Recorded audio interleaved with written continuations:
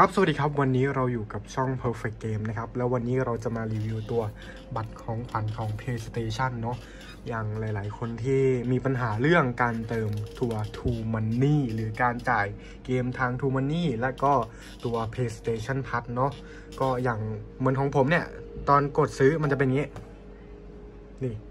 แล้วก็เชื่อว่าหลาย ๆ คนก็เป็นเช่นเดียวกัน ก็วิธีการแก้ง่ายเลย คือ ซื้อตัวนี้มาจบเลย ก็วิธีการใช้เนาะอย่างที่ทุกคนเห็นคือตัวใหม่แล้วอันนี้จะเป็นตัวใหม่ขอเกินนิดนึง ตัวนี้จะเป็นตัวใหม่แล้วตัวใหม่ก็จะเป็นตัวแบบนี้เลย หน้าตาจะเป็นประมาณนี้นี่จะเป็นสัญลักษณ์แบบนี้ตัว PlayStation Plus กับ Store ซึ่งตัวเก่าจะเป็นแบบว่าแยกกันเนาะ PlayStation Plus กับตัว PlayStation Store มันก็จะอยู่แยกกันเลย จะเป็นบัตรอย่างนี้แหละ อันนี้ก็อันนึงจะเป็น PlayStation Plus อีกอันนึงจะเป็นตัว Store นั่นเอง ก็ อันนี้จะเป็นบัตรใหม่เพิ่งซื้อมาสดๆร้อนๆนะวันที่ถ่ายคลิปเลยนี่หาค่อนข้างยากเนาะอันนี้ก็ซื้อที่ Big C ใครที่สนใจซื้อได้ตาม Lotus Big C แล้วก็เซเว่นอีเลเว่นเนาะอย่างที่คนเคยเห็นกันพวกไลน์พวกอะไรเนี่ยมันจะเป็นบัตรนี้แหละ ตัว PlayStation ตัวใหม่จะเป็นอย่างนี้เลย หน้าตาจะเป็นอย่างนี้นะทุกคนนี่ใครที่กำลังสงสัยแล้วก็หาอยู่ว่า เฮ้ยไอตัวเก่าของ PS4 ตัวบัตรแบบเนี้ยตัวเก่าที่แยกกันอะ่ะ ใช้ได้หรือไม่เอ่อถ้าให้ถามตัวผมผมไม่ทราบเลยเพราะผมไม่เคยซื้อแบบนี้เลย ปกติจ่ายผ่านบัตรเครดิตเนาะก็ไม่แนะนำนะจริงๆ เพราะว่ามันเป็นตัวใหม่แล้ว ถ้าจะซื้อก็ซื้อแบบนี้ดีกว่า ถ้าอยากให้ชัวร์เนาะ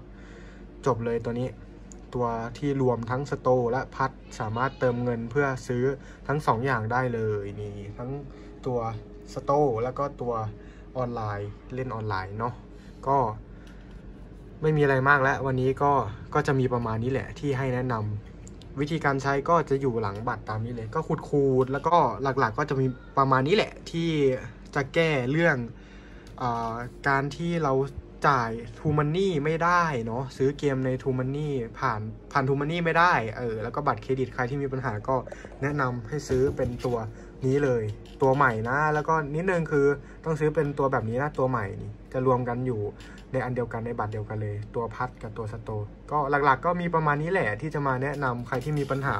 ก็เห็นหลาย ๆ คนก็น่าจะมีปัญหาเรื่องนี้เนาะก็ถ้า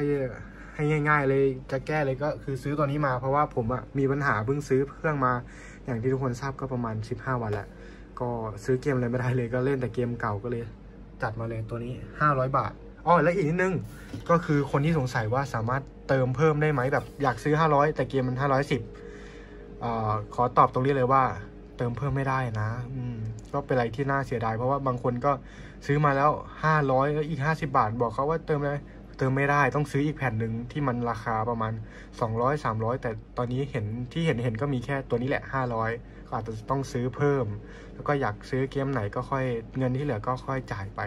ก็บอกตรงนี้เลยว่าไม่สามารถเติมเพิ่มได้ก็ราคานี้ก็คือราคานี้เลยเนาะโอเค หลักๆก็มีประมาณนี้แหละครับ ก็สำหรับสำหรับวันนี้ก็ขอขอบคุณครับ